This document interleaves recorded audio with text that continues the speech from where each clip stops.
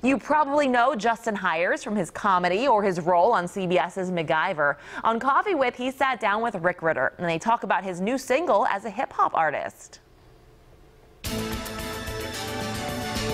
All right, we got some star power in the studio today. Justin Hires, we appreciate you joining hey, us, man. Thanks for having me. Yeah, of I course. told them they got a U-list celebrity here today.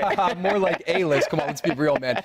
Look, actor, comedian, musician, you do it all. Let's touch on the acting first. CBS, MacGyver, it's a big deal. hey, man, I'm very thankful to be on it. We just got uh, renewed for our fourth season. Um, we're coming back mid-season this year. We're doing uh, 13 episodes. I play Bozer on the show for anybody that watches it. Uh, and yeah, man, I enjoy it. It's like a dream job to be able to do that gig. And as good of an actor as you are, again, it's not all you do. You got some music stuff going on, too. Yeah, man. I just put out my first song. It's called Fire Flame. Uh, it's hip hop. Uh, I go by Jay Hires. That's like my, my rap moniker. And uh, it's doing really well. It's being very well received. I think, you know, me coming from the comedy world kind of took a lot of people by surprise. But when they actually check it out, they're like, wow, they, they, they like it. And so it's available on all streaming platforms. Uh, Fire Flame by Jay Hires. It's my Nice. first single. Uh-huh. you and I, we were chatting a little bit off camera, and I had said to you, I didn't even know that you did comedy because you do so much other stuff, but that's actually a, a big deal for you. Yeah, I've been doing stand-up comedy for uh, for 12 years now, so I'm like a little young vet, and a lot of people don't know that I do stand-up, and they're always pleasantly surprised when they come to my shows.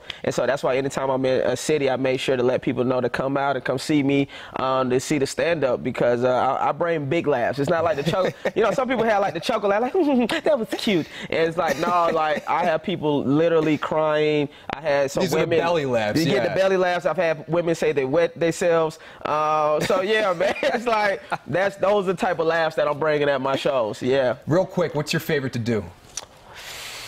man, it's it's in between stand up and music now. Okay. Yeah, yeah, it's it's a certain level of freedom that you get um, from both of those. Um, it's your words, it's your perspective, it's your thoughts, it's your feelings, um, and there's no censorship. You can say what you want to say, and, and you know either people go love it or not like it. But uh, fortunately, I've been in a position where people are, are enjoying my comedy and now my music. Talented guy to say the least. Justin, thanks so much for joining us. Thank you. We appreciate it. Best of luck to you. Stay with us. We'll be right back.